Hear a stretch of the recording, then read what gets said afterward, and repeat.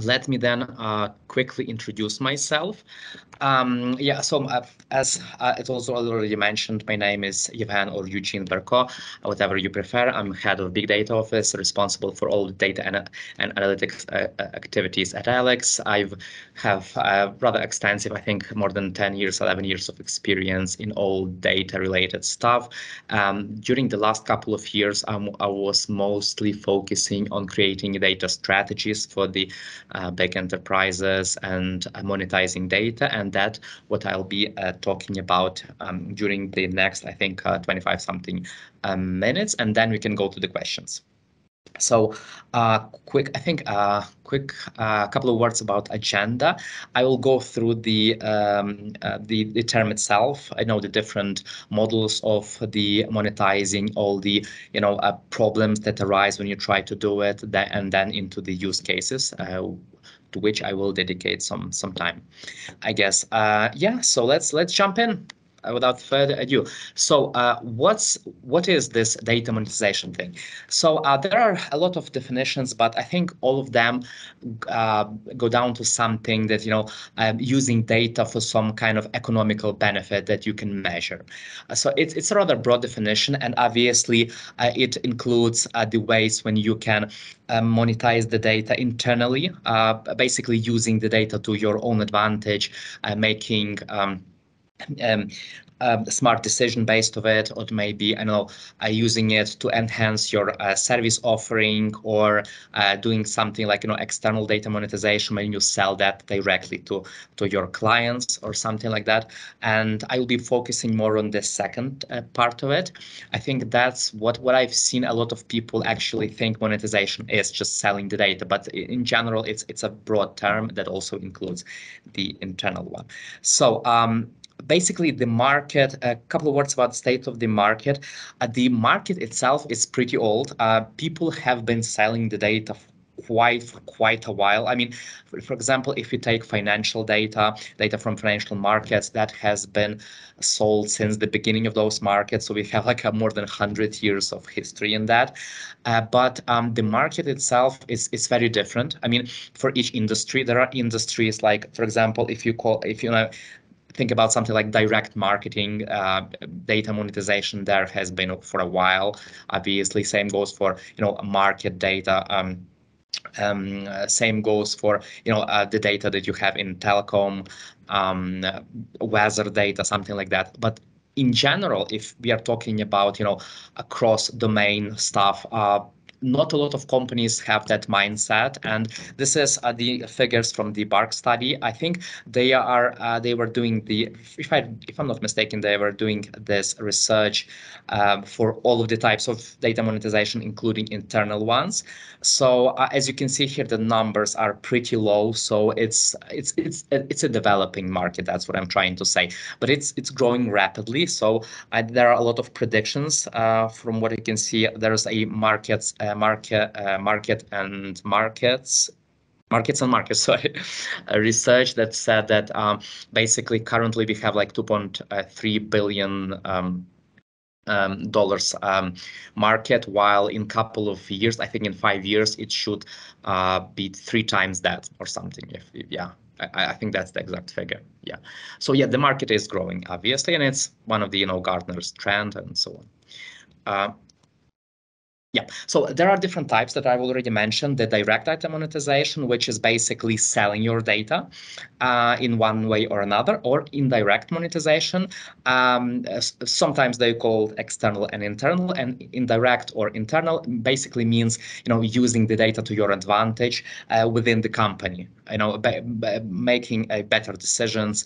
Uh, you know, uh, using it for example, to reduce costs or you know um, increase revenue, um, you know something like that. I mean, there are a lot of different use cases. As I said, I'll be mostly focusing on the direct monetization.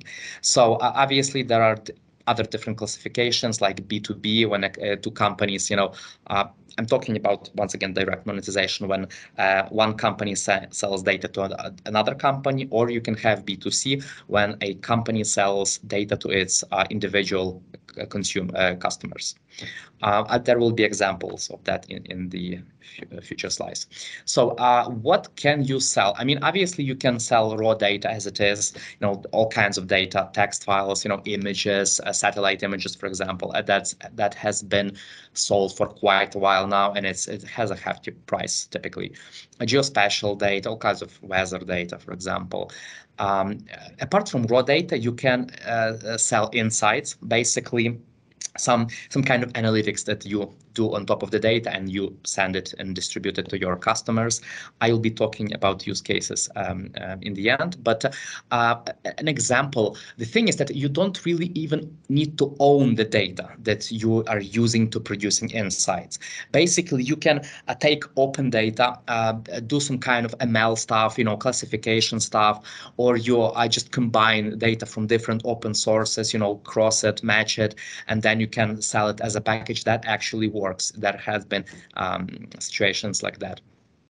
Um, and also you can uh, not sell the data directly, but you can uh, sell it as a part of your, uh, you know, service offering or a product or call it whatever you prefer.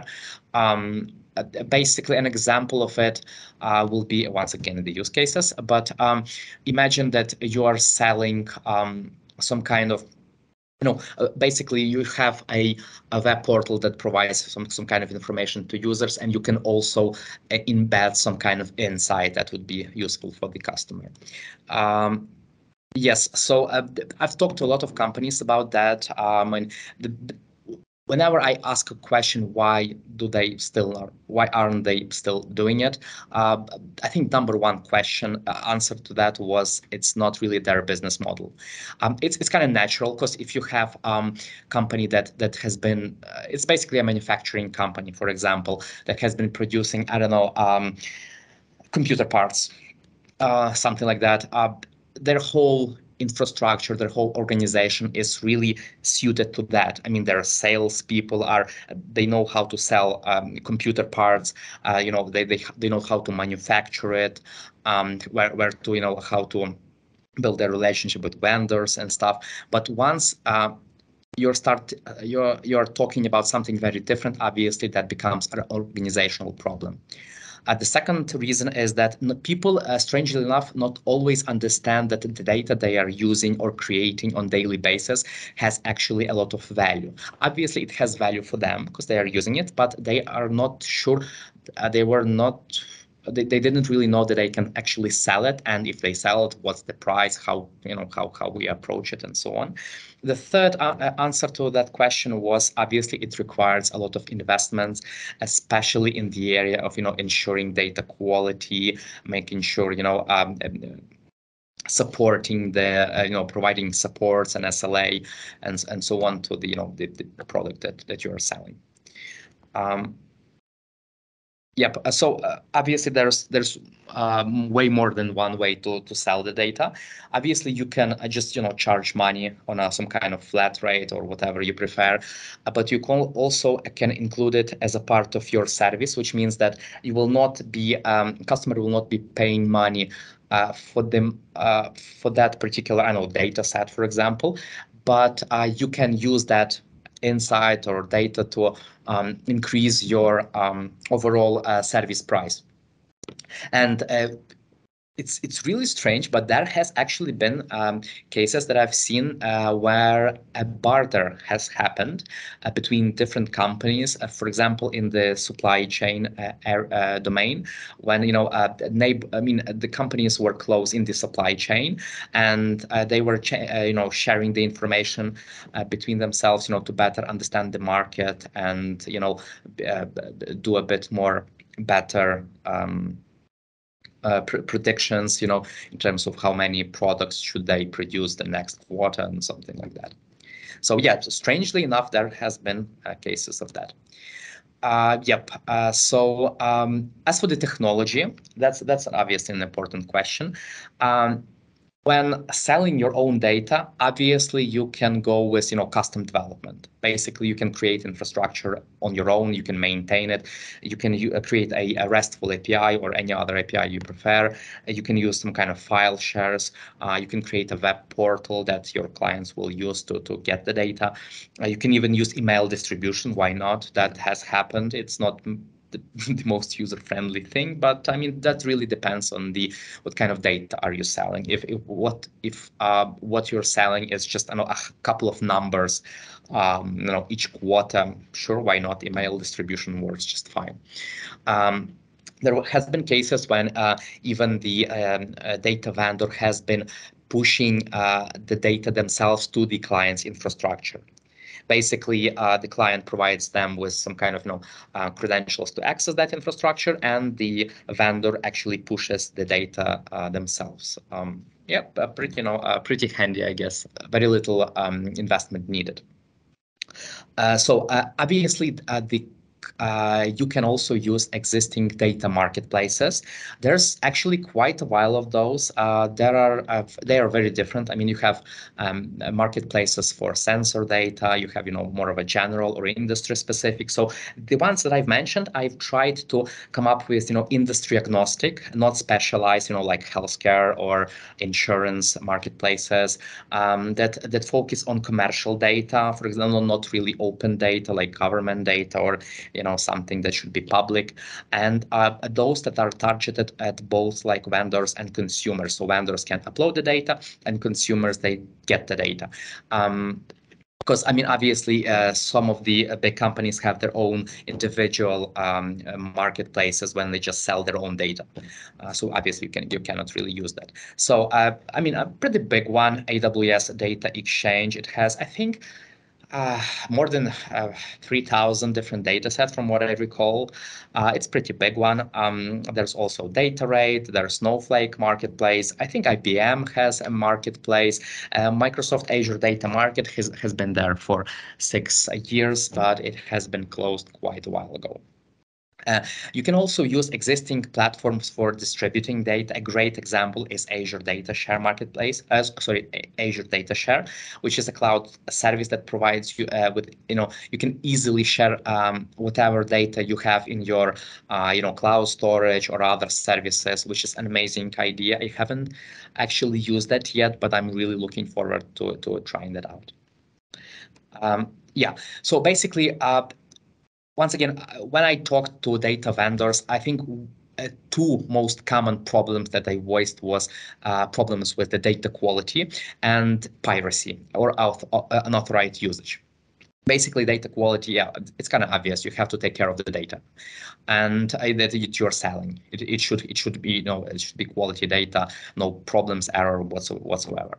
And piracy and unauthorized use i was very surprised when i heard it but that's actually a problem when people are you know uh, paying for that data uh, you know downloading it and reselling it. I was um, pretty shocked to to hear that that that still happens. I mean, I, I thought it kind of um, that happens in a different domains, but yeah, it, it's a problem. So um, the next thing you really have to keep in mind is once again support and SLA. So I've been uh, in the companies that were buying a lot of data, and I recalled two two times when we skipped uh, when we um, um said uh, goodbye to vendor because um, the vendor couldn't just um, provide enough, you know, support. I mean, it's uh, we uh, we find a problem with it within the data. We we say there is a problem, please fix it, and they just you know ignore it for for a long time, and that was really unacceptable. And you come ahead, you can come up with SLA, for example, you know, major problems within that data set should be fixed. Um, I don't know in the next I don't know couple of days, something like that, or if it's something smaller, you can you know have a one week SLA or something like that kind of goes without saying, but you have to think about a compliancy and data privacy. That, that actually should say compliance. Um, you know, obviously GDPR, you know, California Data Protection Act, and all all, all of the other compliances that you can be affected by. Uh, that kind of goes without saying. Uh, marketing, and I'm not really talking about only advertising. I'm talking about the whole marketing mix. You know, a product, a product a place, promotion, price. Um, uh, it's it's it's there's there should go a lot of thought in that. I mean that that's the great topic I would like to speak about in the future because it's just a very big thing to to talk about. But yeah, you have to think about it. Uh, kind of goes without saying, but um, if you are an analytical company um, or or even you are a company and you have some valuable insight for the industry, you have to be very careful not to sell your own competitive advantage. Because if you know uh, things about the market that your competitors do not, you have to think twice before you know monetizing the data. And my meaning is selling it. It's kind of no brainer, but uh, yeah, I, I, still should voice it. Um, your data has to be properly documented. Uh, once again, uh, your clients have to understand what they are buying and uh, what they are seeing on their screens. And you have to think about licensing models. There are quite a few, you know, different ones. Um, I mean, uh, you can, you know, charge for the, you know, um, um, basically for a flat rate for, you know, until the end of the time, but just basically, you know, sell data set and that's it. Or you can charge, you know, rate, uh, you know, per month or something. I mean, different options apply. Yeah, let me just okay, five minutes. Um, yeah, so I have uh, 12 use cases, so I'll go through them quickly. Um, first of all, it's not really a data monetization use case. It's just some case uh, I wanted to talk about because it really shows the uh, the value that the, uh, the data gives to the company. So Amazon bought Whole Foods Market. Uh, it's a big US uh, um, store chain. I think it's 40 years old, and they bought it to uh, in order to better understand customers in that market before actually um, Amazon makes a move into that market. So yeah, that's that blew my mind when I read it. And um, yeah, so as I said, it, you really data could really increase the value of the company itself, even if, if data is not something you do, because obviously Whole Food Market wasn't really thinking about, you know, the data when they, you know, started and, you know, were expanding and, and so on. Um, then, uh, so as you can see, I've, I've tried to uh, come up with very different use cases from different industries that are very different, you know, from each other. So uh, Michelin is uh, obviously uh, a company that manufactures tires, and not only that, if if if, if you remember, you know, the, the, the Michelin stars, you know, to, that are given to the restaurants. So basically, in order to expand their offering and diversify their the revenue uh, sources. They also sell uh, raw tire, tire data and um, insights, you know, different kind of insights to study driver behavior and, you know, uh, better tailor cars to that and, and so on. I, I remember browsing their data sets and I, I don't even recall which uh, uh, marketplace, but I definitely recall those. Uh, then uh, IMDb, I'm a big movie fan, and IMDb I think is familiar to every one of you who actually you know likes movies. Uh, that's the Internet Movie Database when you can you know browse all of the movies, actors, directors, um, writers, and so on and so on. And basically, uh, the interesting thing that they they sell their own data uh, in uh, two different places. First of all, they they sell they have the, the API that uh, you have different tiers and you uh, sell uh, the um, basically the different tiers based on the requests. I mean, you can get the information about specific movie, actor, or something like that. And then also, I've seen their data on AWS Data Exchange when they sell the whole data set that you know can contain like millions of, or even I think billions, maybe I, I assume, um, rows of information about you know ratings and, and that kind of stuff. So uh, yeah, you will not believe how much that costs. Just you know go to AWS Data Exchange, IMDb will be there in the top of the list, and just look at the price. I was blown away. that's that's that's a big big big amount of money. So um, interoperability Interoperability Institute uh, sells um, um, hyper-realistic data for healthcare. The, uh, the, the interesting thing about this use case that they are not selling actual real data. They're selling synthetic patient data. Basically, they, they, it was generated in a very specific way to make it very realistic, and it can be used for you know all kinds of testing purposes, from um, you know um, in healthcare if you want to, I know, test some hypothesis about, you know, uh, um, you know, treatment or something like that. I'm not really a health healthcare professional, but uh, yeah, from what I've seen, they they're selling a lot of, you know, different data set uh, generated specifically for different cases. Um, well, um, uh, uh, yeah. Okay. So Acxiom uh, is the biggest company that you've never heard of. That's that's how they were called. Uh, they were, I think, the first ones to do the uh, data-driven direct marketing uh, way way back ago. Um, basically, they were using all kinds of public data. They were joining it, you know, across. Um, um, cross-checking uh, information and uh, uh, com coming up with a list of you know, different people that could be potentially used in some kind of product. And they could you know they were selling those lists to their own customers. Uh, uh, yeah. So basically they were pioneer in that. Uh, in terms of data monetization i think this direct marketing thing you know uh, the data that helps you understand better your customer i think that's like basically the hot potato of the data monetization. I mean that industry has been for a while and it's i mean if you go to the aws data exchange that kind of data i think it's marketing data is uh, basically uh, has the biggest amount of data sets. So uh, uh yeah i run out of time. Sorry for that. Uh, i'll go quickly to the to the rest of those. So basically another case is from oil and gas industry it's uh, basically a company uh, was uh, GRTgaz was combining data from all kinds of different public and uh, sources and uh, sometimes buying some some data. Uh, they were um, joining the data in order to pre present a, um, a, bird's eye view uh, of the whole industry, you know, how the natural gas flows through Europe. And MediSafe, uh, that's actually a very interesting case. Um, it's a company that sells a basically application that helps you manage your, you know, pills intake. And um, that that's the main thing that they do. But they also accumulate data about how people actually uh, take their uh, medication because uh, you know you not always take them as as you should. There there are some discrepancy and so on and that they actually sell that data. Uh, another very interesting um, uh, uh, health use case from healthcare is um, it's what I've found on AWS Data Exchange. Basically, a company sells just you know uh, pricing for all of the hospitals in Massachusetts, uh, um, and that, that's basically it. I mean, you have all of the list of um, services that they offer, and you can check each and every hospital and compare their prices. As simple as that.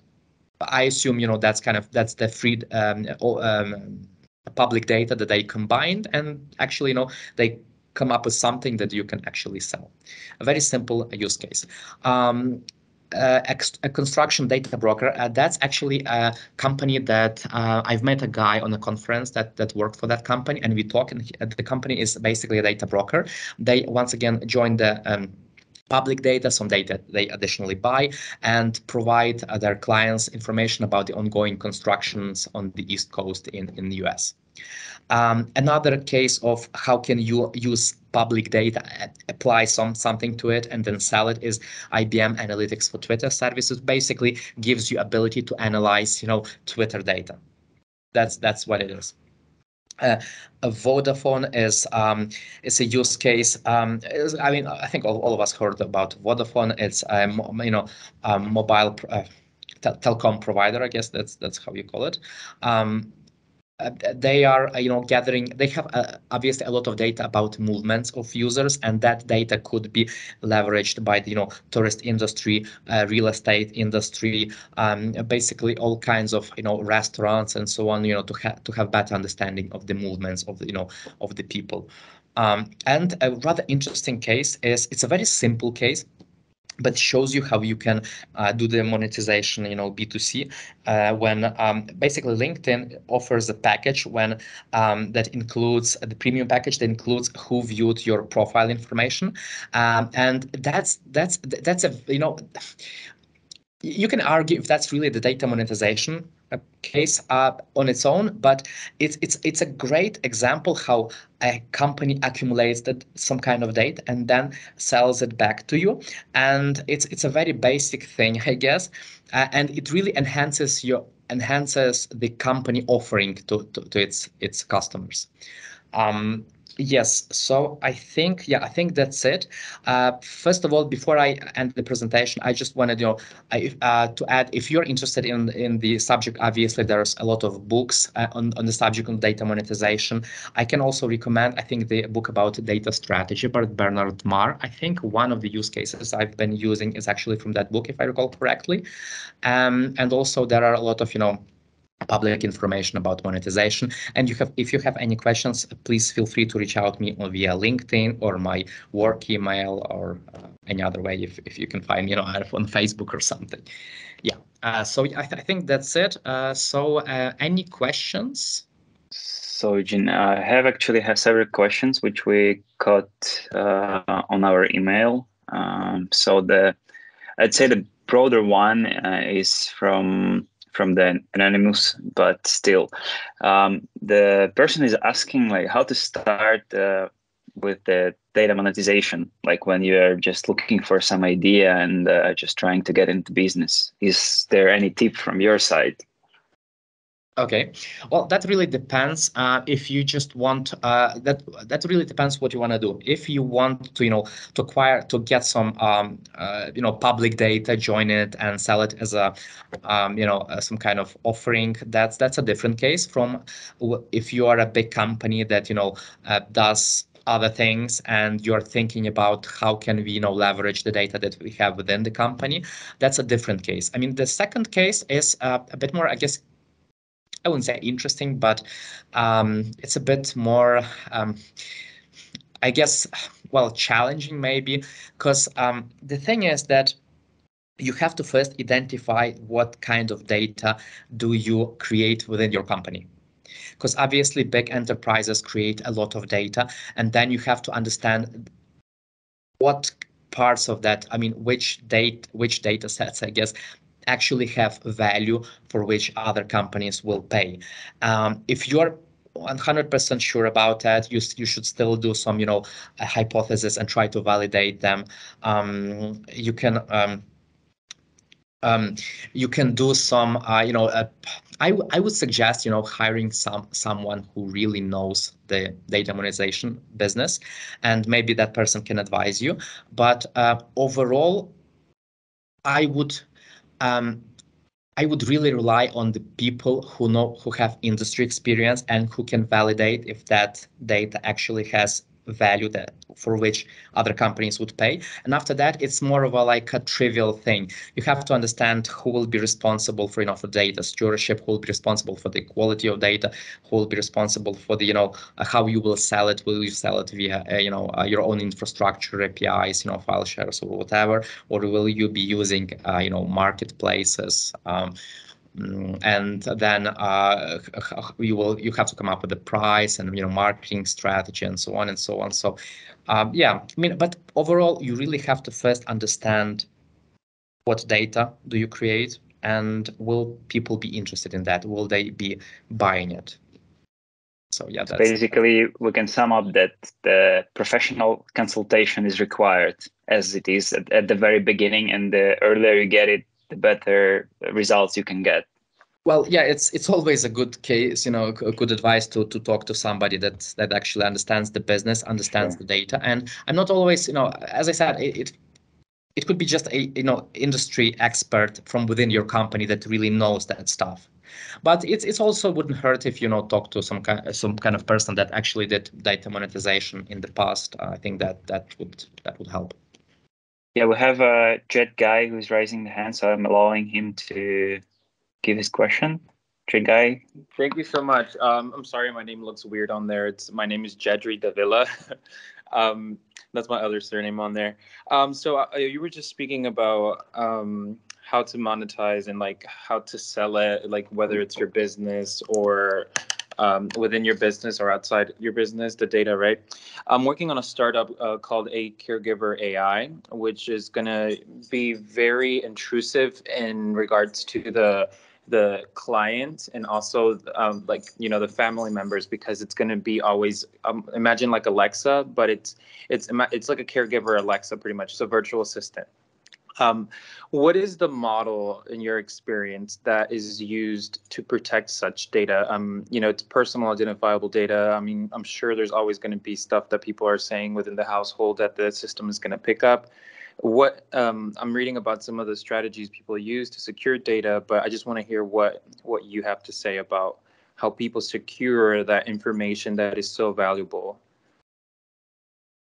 So um, yeah, that's a great question. First of all, um, well, obviously you have to think about compliance, you know, and different compliance mm-hmm. framework like like GDPR, you know, California Data Protection Arts and uh, Act, and all of the, uh, you know, similar um, uh, compliances. Basically, if you have some kind of so from what I understood, basically that the thing will pick up uh, the you know conversations from within the uh, you know household, family household, and you will store it sometime uh, somewhere. Um, well, I, think rather obvious advice is try to um, find some kind of uh, sensitive, you know, personal information within that and try to, you know, delete it or uh, somehow just anonymize it so it's not stored there. Because obviously GDPR will uh, um, uh, it's against the GDPR to store the data just just for you know storing purposes and not um, and unless you have a very specific reason to store it. And also um, you know there's also uh, the um, right to be forgotten stuff and um, you should you know encrypt it. I mean i don't have i don't understand i mean obviously the um, the innards of, of your um, uh, product, but I would suggest you know trying to identify the sensitive information or social security numbers emails telephone numbers and just delete it if that's possible from uh, from your you know uh, data data store. Um, I've, I've seen people uh, monetizing data in healthcare and they basically were just don't know an anonymizing stuff. I mean the data was still there. You can you can share it. Just you know make sure that um, nobody can actually identify real people based on that. Does that make sense? Am I making sense? Yeah, you were talking about uh, how to delete the personal identifiable information and um, when storing. You mentioned I, I don't think I heard that you mentioned something that um, you can't just store things for the sake of storing it. Yeah, I was talking about the GDPR. Basically, you know, you can you can Google the requirements, but I mean, there's there's not really a lot of them. Uh, basically, you shouldn't store. Uh, you should store personally identifiable information only if you really have to, for the oh. amount of time that you really really have to. Uh, uh for example, I mean, if you're if somebody really you know is, is is buying some something for you, obviously you can you know have their emails and stuff but if that user is gone from your system there's no really need for you to you know to still store their um, information and that goes i mean uh, I think in a lot of different scenarios, and also there's a, a right to be forgotten. Basically, mm-hmm. the person has your, you have the personal information of a user, and user has to have a easy way to ask you to you know delete everything that's related to that user. Um, there's also i mean that's the gdpr basics. I mean um, gotcha. cpa which is you know the california production act is it's kind of similar but it's also different. I don't recall all the you know intricacies but uh, yeah you can you can obviously go you, you always have to think about compliance. Of course yeah. Yeah um, I mean, in the I also uh, in in uh, in GDPR you have to also encrypt the data um, in at rest and I believe also in transit. Uh, yeah, I, I think that that sounds right. Yeah. All right. Thank you so much. Appreciate it. No problem. So I have another question from the audience. Um, so we're if we're talking about the GDPR and the data privacy stuff, if um, there is any way how we could bypass the data privacy and avoid invading people's identities and connect the regulatory limitations of the data usage. I would definitely not call it bypassing. Uh, I would just, you know, say how can we comply to that, and because that's basically how it's done. You, um, uh, you have legislation, you have to, you know, comply to that legislation. Uh, so as I said, I, have seen people, uh, you know, um, selling all kinds of information that, uh, um, for example, in healthcare, um, after just, you know, anonymizing the data, the data is still valuable. It's just um, typically you don't well first of all don't really need you know the personally identifiable identifiable data in the first place. I mean if most of the time i guess. If you're if, if you're doing some kind of medical research I'm, I'm not a healthcare professional but i assume you don't really need a phone number of a person or their social security number or i don't know uh, patient ids or anything like that. You don't really need, uh, or name of surname right? That does not really share any meaningful information to their medical history so uh, you should just anonymize that you know uh, uh, remove those fields and so and that's what a lot of companies are actually doing. And um, the data still will be valuable you know. But you also have to be very careful. I, am just thinking about the um, the scenario where um, if you have a disease where only like I know five people in the world are um, ha have that disease, then I mean theoretically, even if you don't provide their names or you know email addresses or that stuff, you potentially still could identify those people in that data by you know since they have a very specific, very um, unique disease, and you know a combination of other factors may actually identify those people. But I'm I'm really talking about a very, very specific edge case. Um, that shouldn't really be the case. I mean, if you just remove all of the you know, emails, uh, um, phone numbers, I think uh, names, surnames, addresses, I think that that should really be enough. Okay, so anonymizing sounds like an answer to the question. Thank you. If uh, there is any other who would like to join the conversation or ask any question, just feel free. We still have a few minutes more. And yeah, if and, uh, not, sorry yeah, go ahead. if, if you if you come up with a question uh, that you know after the presentation once again feel free to drop me a message in linkedin or my you know, work email or um, if you find me on other social media um, um, i'm all for it. I, I love to talk about you know data monetization and, and data in general so i'll be happy to help to try to help you. Yeah you spoke about the anonymizing the data.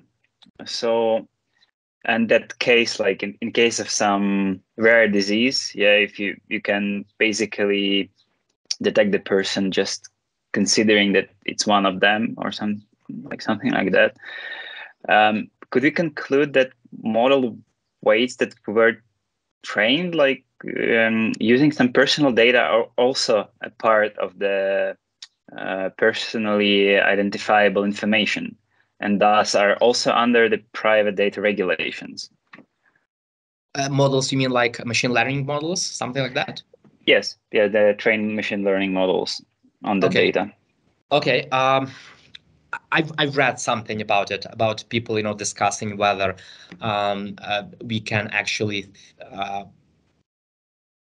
sh should machine learning models you know uh, be also compliant to that and but uh, i'm not really a person to, to answer that question i think that should that question should be answered in in court basically it's just um I mean, I, I do understand the problem. Obviously, you know, you train the model. Uh, it, it does not contain any of the raw data, obviously. But if you can, I mean, my personal, my personal um, um, view of this is that if you can use that that model in any way to, to identify or to share some of the you know sensitive information for example i don't know um, uh, you can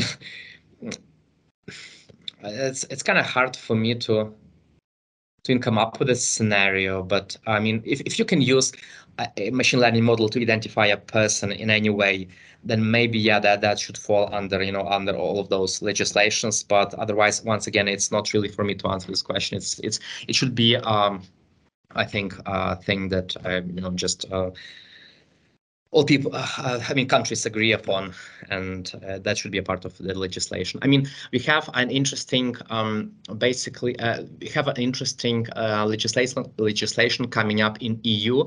Um, uh, that's about you know all kinds of simplifying the sharing of the data. Uh, that's a, I think the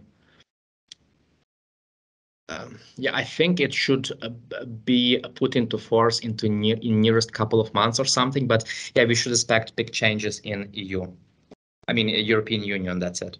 So yeah, I, am really happy to see that you know there are some changes in this field. Hopefully, the machine learning models will not be you know uh, should not really comply to GDPR, and people will be you know uh, allowed to train their models on whatever data you, they they prefer. I, I'm I'm really all for it.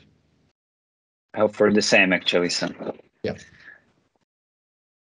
Okay, I think that for now that's all. Also, we are short on time, so it's been great hosting you, Eugene. Thank you. Thank Thank you a lot for your presentation. So we will share the video after the conference in a few days. We will share the presentation context. So everyone who would have any other questions, who even didn't attend but have seen the video, will be able to ask Eugene, James, or Alex about their questions. So feel free to email them or contact them on LinkedIn. Thank you a lot, Eugene. Take care.